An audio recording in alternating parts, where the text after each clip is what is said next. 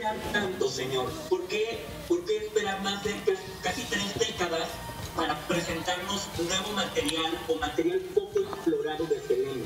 El público sigue pidiendo cosas de Selena y yo creo que ya era tiempo, ¿verdad? Después de 20 años, que hacer algo nuevo para ellos.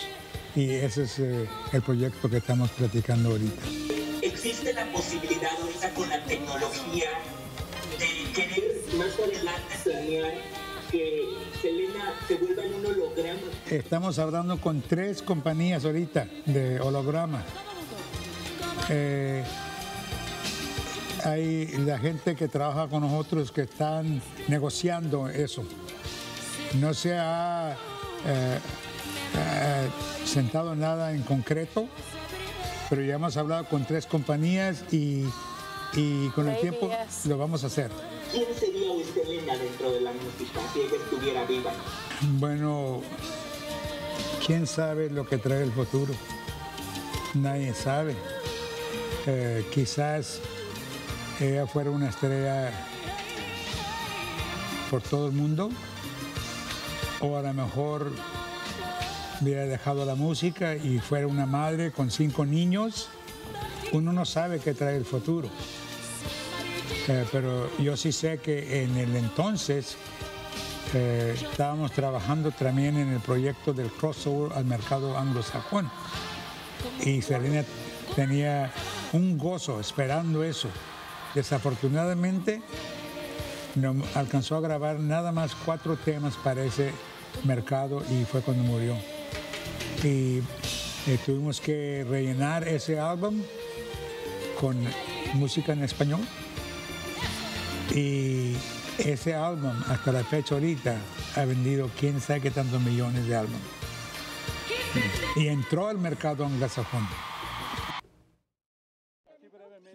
Livia Brito quiso dar cátedra de Derecho tras acudir a una audiencia por la demanda que entabló en contra de una revista a la que acusa de lucrar con su imagen y a la que exige el 40% de las ganancias de los 14 números en que se ha hablado de ella. Y es que antes de contestar cualquier pregunta, la actriz leyó un fragmento del artículo 18 de la Ley de Responsabilidad Civil para la protección de derecho a la vida privada, el honor y la propia imagen. Constituirá acto ilícito la captación, difusión o comercialización de la imagen de una persona sin su expreso consentimiento. ¿Tienen alguna duda de este artículo de esta ley? ¿Se las repito o ya les...? Eh, ¿Qué pasa en caso de que te encuentres en un espacio público? Como aquí. Se las vuelvo a repetir. No importa dónde yo esté. En contraste, su abogado explicó con palabras llanas lo que ocurrió en la audiencia y lo que buscan con su demanda.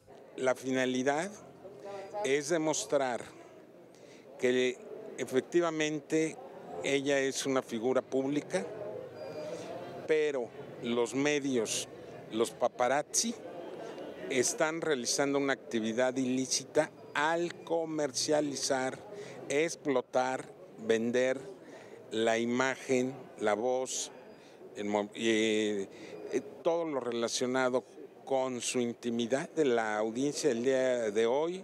Fue desahogar la prueba confesional a cargo de Livia Brito, no se pudo desahogar la confesional de, de Eso sí, la actriz se negó a hablar de la denuncia del fotógrafo Ernesto Cepeda, a quien ella y su novio agredieron hace dos años mientras los captaba en una playa de Cancún y que sigue sin resolverse. saber, por ejemplo, tu postura ante la demanda del, fotógrafo. Gracias, chicos. o la demanda que también tiene Mariano. ¿Por qué no hablar? Estamos... De estos casos. Sí, de estos casos. ¿Dónde está? Del caso del fotógrafo Cepeda, ¿qué sucederá? Algo que puedas declarar. Les agradezco por estar siempre presentes. Y al intentar huir de más cuestionamientos, terminó quejándose de los empujones. Menos mal que la cubana no consideró demandar también por eso. A ver, sí, y también tus impresiones de cómo se desarrolla la audiencia. Y ustedes que están acá atrás me vienen empujando. Entonces no es por mala onda. Tengan cuidado cuando caminen porque me van empujando. ¿Va? Para Ventaneando con información de Germán Wing. Gracias chicos, nos vemos. Aguas.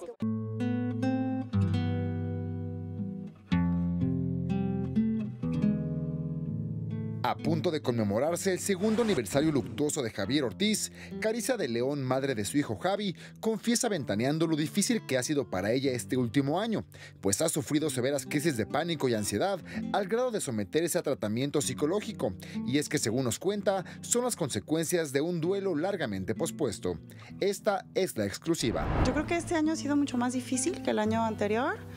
Eh, sigo yendo con el especialista y me dice que se llama duelo pospuesto, que me explicaba que cuando uno eh, se enfrenta a una situación difícil, a un duelo, a veces no, no tienes la oportunidad de vivirlo en su momento porque hay que sacar adelante este, los hijos, el trabajo, todo. Entonces como que lo deja uno en el fondo hasta que llega un día en el que finalmente hay que abrir esa puerta y empezarlo a vivir cuando todo lo demás ya está en orden. Porque antes tenía que resolver tantas cosas y ahora que ya tuve un poco más de tiempo para mí, pues me empecé a sentir muy triste, ¿no? Haber perdido a mi pareja, al papá de crianza de, mis hijos mayores, al papá de Javi, a mi compañero.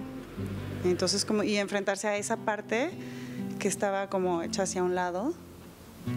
Entonces, pues eso me ha, costado mucho trabajo. Tengo muchísimas pesadillas. Me despertaba y, sentía que el corazón me latía, que me estaba ahogando, ¿no? Y así como que, ay, Dios mío, ¿por qué siento esto? O sea, como mucha desesperación. Que poco a poco se van a ir como suavizando. O sea, espero que, que así sea, ¿verdad? En contraste, su hijo Javi, hoy de nueve años, parece estar cada vez mejor. No, pues no, no hacía la tarea y, y, ay, es que no quiero, es que no puedo, es que no, es que no, no se podía concentrar, ¿no? Y, y la verdad es que le teníamos que ayudar un montón. Y este año lo vi que se despertó la semana pasada el lunes y dijo, estoy emocionado de ir a la escuela. Y yo, ¿es en serio? Le hicieron unas pruebas en la escuela y le dijeron que es un niño súper dotado. Y dice, es que tengo toda la capacidad, ya nomás me hace falta explotarla. hay, hay fechas cuando, que se van acercando y cuando esa fecha se acerca es, por ejemplo, Navidad, el Día del Padre.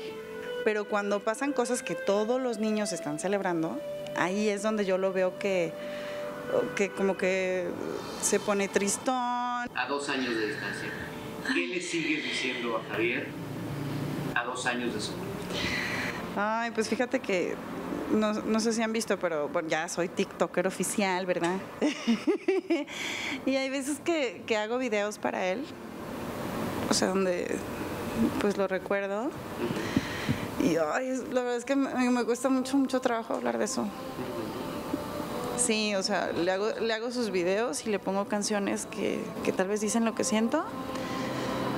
Pero es que, te digo, para mí este año ha sido un año muy, muy difícil. O sea, no puedo. puedo. Para Ventaneando, con información de Alejandro Martínez. Este programa de televisión se llama Ventaneando y que el que no cae resbala. Ventaneando es ventaneando.